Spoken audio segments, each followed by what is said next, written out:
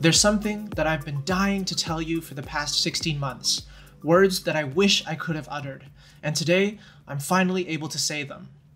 For Canadians, international travel is coming back. I'll give you a minute to get out of your system. Scream, shout, celebrate, do whatever you need to do. I'll wait for you. Yes, yes, yes. Indeed, the big news for this month's When Can We Travel update is that Canada has announced that it will be lifting the three day hotel stopover and the 14 day mandatory quarantine upon return for any fully vaccinated travelers as of July 5th, 2021. And this means that if you've gotten your vaccine, then travel internationally is going to be a lot more realistic this summer, this fall, this winter, basically anytime in the second half of 2021. So in this video, we'll go over everything you need to know about the new policy as you think about international trips for the rest of 2021. We'll also talk a little bit about the current situation around domestic travel. We'll take a look at what the situation is with vaccine passports, both domestically and abroad.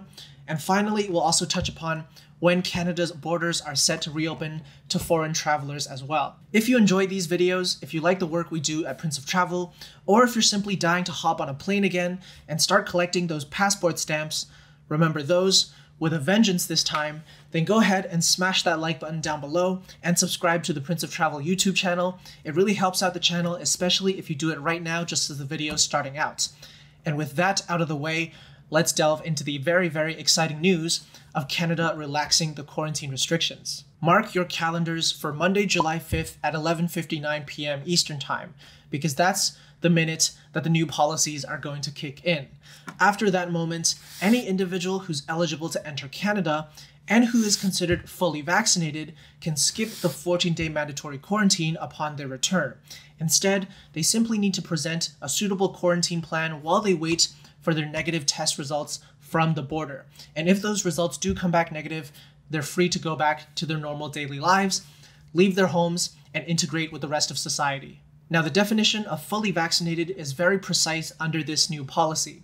To be considered fully vaccinated, you do have to have had both doses of the Pfizer, Moderna, or AstraZeneca vaccines or the single dose Johnson & Johnson vaccine, and you must have had your final dose at least 14 days prior to your entry into Canada. Any mixing and matching of these vaccines between the first and second dose should be okay as well, because all four vaccines are considered acceptable by Health Canada.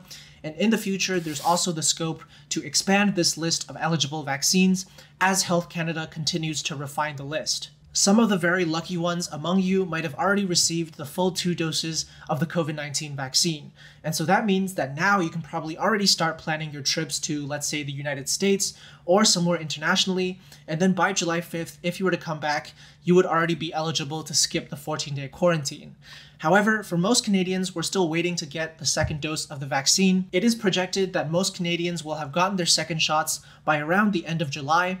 And so when we think about August, September, October, we can already start earnestly thinking about international trips and skipping the quarantine when we get back. Of course, there are a few very important things to note here. Number one, if you're not considered fully vaccinated, which means that it hasn't been 14 days since your full dose of one of the four approved COVID 19 vaccines, then you still will need to undergo the three day hotel stopover, followed by the 14 day quarantine at home if you're arriving into Canada by air, or just the 14 day quarantine at home if you're crossing the land border. Number two, and this is going to tie into our discussion on vaccine passports later on, so make sure to stick around to that part of the video. You do need to submit your vaccine documentation into the ArriveCAN app, which is the Government of Canada's official travel app, before your arrival into Canada. Now, personally, I think it's also going to be wise to carry a paper version of your vaccine documentation just as a backup in case you need to show the border officer that you have, in fact, been fully vaccinated and that you're exempt from the 14 day quarantine. Number three, it's important to remember that this first phase of relaxed travel restrictions still only applies to individuals who have the right to enter Canada. So that includes Canadian citizens and permanent residents. Canada's borders remain closed to foreign visitors for the time being, and that includes the land border to the United States. Americans are still not allowed to enter, and that's been extended until at least July 21st Personally, I feel like as of July 21st, it's likely to be lifted with the vaccination and case transmission situation in both countries, which is looking very positive. I do expect that our fully vaccinated American friends will be able to visit us north of the border once again after July 21st, and hopefully it won't be long after that that our borders are fully open to foreign visitors who are fully vaccinated as well, also thus giving a much needed boost to our local Canadian travel industry too. And we'll definitely have more updates on that once again in next month's When Can We Travel update. And finally, number four, I know there's many families with young children who are wondering whether you'll be able to travel internationally this summer and fall, even though your children might not be eligible for the vaccine just yet. If that's the case, and your unvaccinated children are coming back into Canada, they will need to quarantine at home for 14 days. However, if you're a fully vaccinated parent who's accompanying your child during their quarantine period, you can leave your place of quarantine. You can leave your home while your children are undergoing the 14 day quarantine. Now, before we get too excited about international travel, the irony that we're celebrating the end of quarantine when I'm still sitting in my quarantine period here on my last day of quarantine in Hong Kong is not lost on me. Certainly, there's still going to be lots of travel restrictions and obstacles and challenges to deal with as you embark on international trips. And if my experience is any indication, you should always, always double check, triple check, quadruple check the rules and regulations that you're facing if you're going to take international trips this year. And so perhaps some of you are not ready to commit to a full international trip just yet, in which case domestic travel within Canada is very much back on the table this summer and this fall. Canada's provinces are all either already fully open or they're planning to open as soon as July.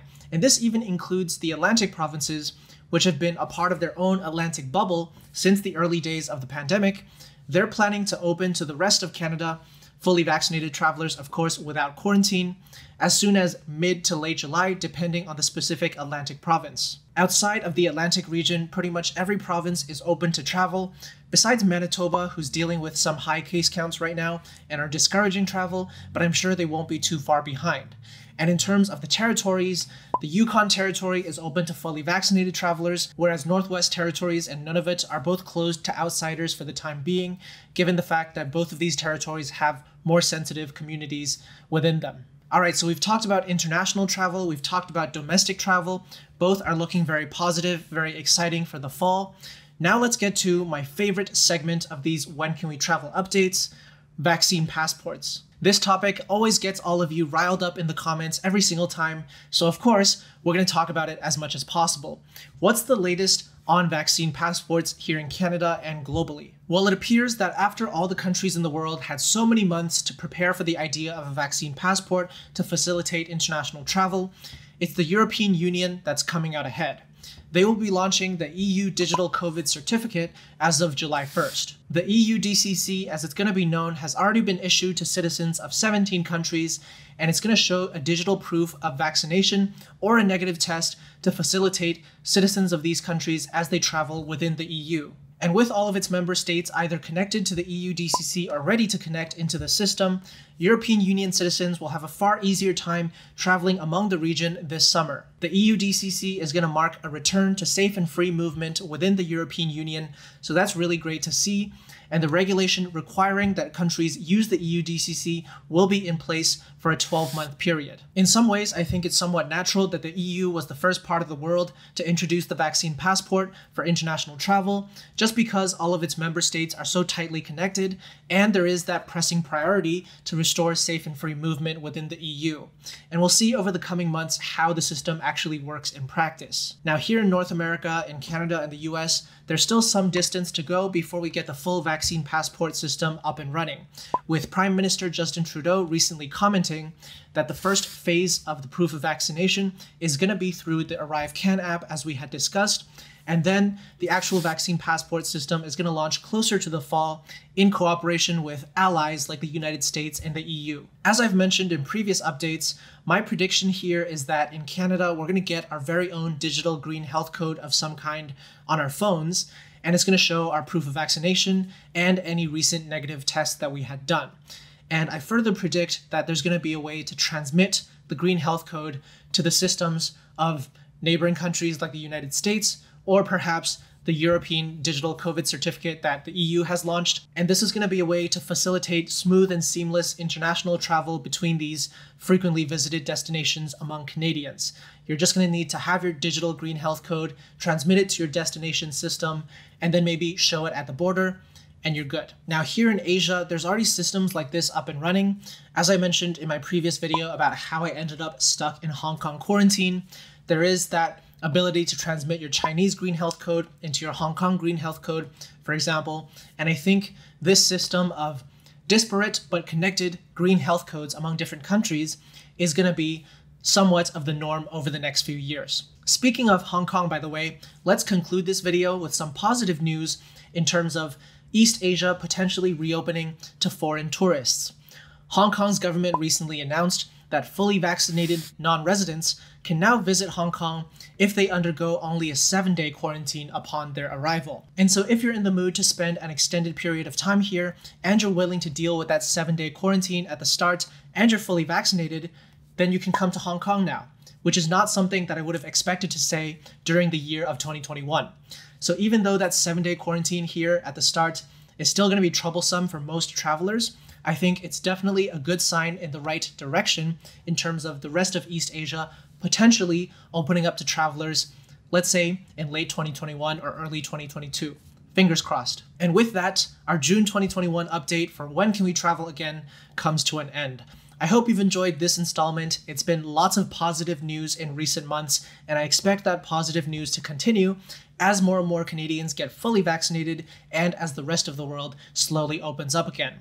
Don't forget, you can check out our articles and our dedicated travel during COVID 19 resource over on princeoftravel.com to keep up with different countries' reopening efforts. So make sure to visit the website and subscribe to the email newsletter that comes out once a week every Sunday. If you enjoyed the video, make sure to hit the like button and subscribe to the Prince of Travel YouTube channel. Just click the subscribe button below the video and let me know in the comments below, have you gotten your vaccine yet? One dose, two doses? When do you expect is the date that you'll be able to take advantage of Canada's relaxed quarantine restrictions when you're coming back to the country? And where's the first place that you're gonna go on your post-pandemic revenge travel plans? Let me know, and I'll see you in the next video. Yes! Yes! Yes, yes, yes, yes, yes! Boo, boo, boo, boo. Vaccination documentation, vaccination documentation.